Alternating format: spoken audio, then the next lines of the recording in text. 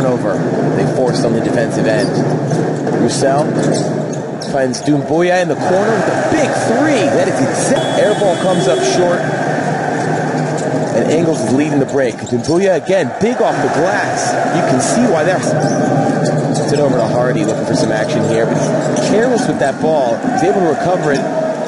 Doumbouya from the corner again. He loves that spot. Buckets like that, they're not going to cut into this lead. They're scoring the ball a lot better, but they need to get stops as well. Doumbouya continues his